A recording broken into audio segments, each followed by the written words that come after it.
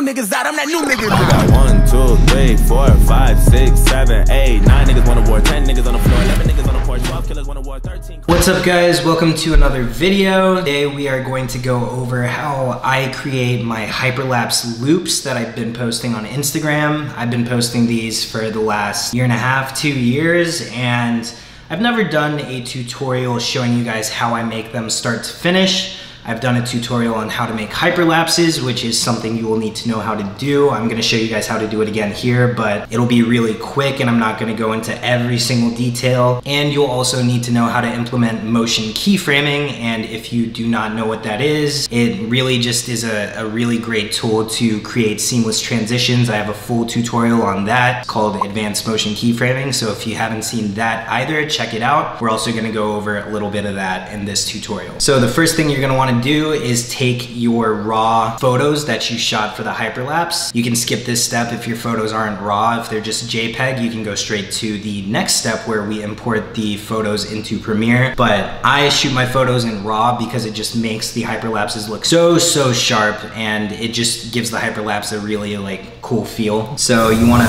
go into Photoshop, go to File, Scripts, image processor and then select the folder where your hyperlapse photos are. And once you have your folder selected with all your raw photos, and as you can see, all my raw photos are here in this dragon folder. Make sure to check open first image to apply settings and then save in same location so that it'll create a JPEG folder with all the edited photos and then save as JPEG and make sure quality is 12 because that's the highest quality you can do and then press run. It'll open up the first raw photo so you can edit it in camera raw and then make whatever adjustments you want to the photo. I'm gonna turn down the highlights so we can see the sky more, maybe up the contrast a bit, increase clarity.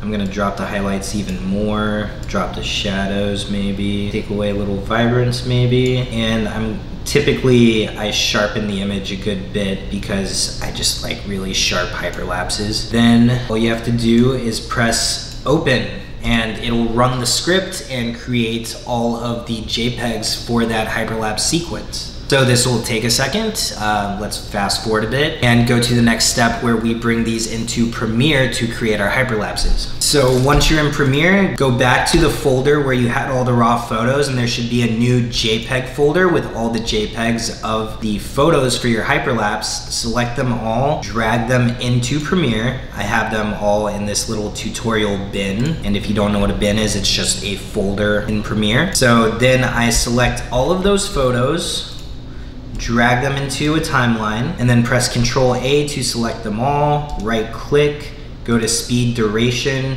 switch this to one second, and then click ripple edit shifting trailing clips, and that will automatically get rid of the space in between all of the clips and then set them all together so you have your hyperlapse without stabilization. So there's your hyperlapse, but it's not stabilized. So just select all your photos, right click, nest, and then I'm just gonna name this hyperlapse. And then all you have to do is go up to your effects panel, type in warp stabilizer, and add a warp stabilizer effect to that sequence. And once this is done analyzing, you will have your hyperlapse. Just repeat this for however many times and however many hyperlapses you have, and you will get your building blocks for your hyperlapse sequence and we are done. So if you go back and watch through your hyperlapse, you can see how the stabilization did. Let's turn this down a bit so hopefully it plays smoother. And that looks pretty sick. And then what I normally do is I export this. So file, export media, and I export it to a ProRes file so that there's virtually no loss in quality. So I go to QuickTime, Apple ProRes 422HQ, render at maximum depth, 16 bits per color. I actually don't know what that is. Uh, use maximum render quality and then I export it into a separate file so that we can piece this together in After Effects. So once we're in After Effects, you take your hyperlapse, And here is the hyperlapse we just created. I have already gone ahead and created nine other hyperlapses. So all you have to do is piece them together in a way that keeps the motion as consistent as possible, but the motion doesn't need to match up like in the same direction for every clip because we are going to do some seamless transitions here. But if you can match the motion somewhat or find parts of your hyperlapses where the motion matches, you can make some really cool transitions. I noticed that there were a bunch of buses when I was filming these hyperlapses, so I took advantage of that and made a smoother transition here. So let's cut this at a point where there is a bus blocking our view or like within view. Right there that looks good. So we got a big ass bus in the frame. In this clip notice there's a big ass bus in one of the first frames. So i'm gonna cut the clip there using alt bracket alt left bracket and then that just adds a little continuity between the clips to add a bit of a smooth transition so it's like the bus kind of like passes by and then we're all the way in another clip. So now we've got the big ass bus passing by on both these clips. And then on this last clip with the dragons, I actually want to do it in reverse so that we have this whooshy flipping motion at the beginning. So right click, enable time remapping, and then flip flop the time remapping keyframes to play it in reverse. And then it kind of just makes it a little more whooshy. I still need to scale out on this one. There we go. And then what I did was I noticed that there's this light coming across the frame. So let's end it there. And then it kind of transitions into this structure here with the dragons and it makes it just a little bit smoother. So pay attention to those little details. And that's how I got that smooth transition there. But we can do a little more with this. We can add a little motion keyframing to just smooth this out even, even more. I'm gonna do a zoom in here. So let's scale in on this clip so that it kind of matches the size a little better in the next clip of this building. And then click the first keyframe here, go to graph editor, I'm gonna zoom in a bit here so we have space to work. And then I'm going to do an easy ease out on that keyframe and then select the last keyframe, do an easy ease in, and then ramp it up so that it gradually zooms in and zips into that next clip. And then we are going to do a zoom in on this second clip as well. I'm going to scale in just a bit here let's say to like 120 and then go back into graph editor and we'll do an easy ease in at the end here and easy ease out at the beginning and have it zooming in really fast on this clip too. So that's how you can create a smooth transition there. See how easy that is? And that's how I create those transitions. But let's try that again with some rotation keyframing. So this seems to be rotating counterclockwise. So let's add a rotation keyframe on this clip here at zero, and then let's make it move counterclockwise. Let's see how that looks. And you can see where that's going to come together here soon. We just got to get into graph editor and add a little more whooshiness there. So graph editor, easy ease out, easy ease in on the last one. And then we want it to zip up really fast to the final value there so that it starts rotating really fast at the end. And again, we just need a bigger slope here and then easing out of the original rotation at the beginning. And that gives you just a little zip to that transition. I actually think that's a little too much for my own taste, so let's drop this to negative 15 and make it a little less zippy, so less slope. That looks cool. I want this to start a little sooner too. So let's make sure that this is a straight line here at the beginning and then zip it in at whatever rate you want here. Just make sure it ramps up to that rotation. And in that case, I think we can go a little more because it's not as zippy when we spread it out. So let's see how that looks. That looks good.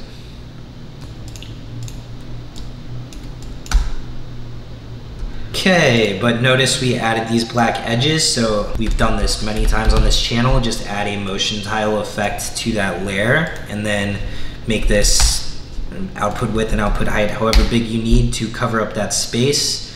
And then select mirror edges and you, it should be pretty seamless there. People aren't gonna notice this really or especially in the sky. Mirroring the sky typically does a very good job at hiding imperfections in the transitions. And that's exactly how I made that edit. I just pieced together more clips and I added more seamless transitions. Then if you export that sequence you create in After Effects, bring it back into Premiere. Last two things I do to bring this all together is add a LUT over top everything so that the colors are more consistent, gives it a little pop. And then I added sound design. And we're not gonna go all in on the sound design. It's good to get some ambient sound in there. It's good to get your whooshes in for the transitions. If you guys would like to see a full sound design tutorial on how I do my sound design, please comment that down below, let me know. I've been planning on doing a sound design tutorial of some sort, but I wanna gauge interest on that because sound really does help bring these edits to life. For example, let's see. It just gives it a lot more pop than it would have had without sound because it would have been like this. It looks cool, but the sound makes it pop. And one last tip I have for you guys is at the end if you want to create a loop for Instagram, which is something I do all the time, just create a seamless transition at the end the same way we just did. So here I have a sliding transition. I just animated the position keyframes and used motion tile. All you have to do is add that transition at the end of your footage and then add it at the beginning of your footage and then everything will loop together and it looks really cool for like an Instagram post. So see, I just did a sliding transition by using motion keyframing with my X position. So it ends up looping like this. Back to the beginning of the footage. And that's, again, just motion keyframing, adding a transition at the end and finishing it at the beginning of your sequence. Once you put all that together, you get something like this. And it loops seamlessly and people love that shit, so try to get that in there. Anyhow, that is it for this video. That's how I create my hyperlapse sequences. You just create your hyperlapses, bring them together in a way that makes them as seamless as possible without transitions. Add your seamless transitions and everything just looks very smooth and buttery by the end. Again, don't forget your sound design. It really, really ties everything together. If you guys want to see a tutorial on that, let me know. And that's it for the video, guys. Uh, thanks for watching. If you haven't seen my 2021 recap video yet, go check that out. It's called My Year 2021 rebirthing. I found out I was bipolar last year, and in case you couldn't tell, I wasn't really posting that much. And it kind of explains all that, and it's a cool edit. It shows a lot of my work from 2021, even though I felt like I didn't do as much last year, I realized that I did do a lot, just not on YouTube. Don't forget to subscribe, and I will see you guys in the next video. Peace. I don't wear Prada, just bring me a white tee. I bought some my jealous, I still wear the Nikes. I roll with some hitters, I know you don't like me. I shit on you niggas, now bring me some You think I'm a killer? Well, maybe I might be. I ain't got no feelings, I dare you to fight me. I sleep with a leopard, I'm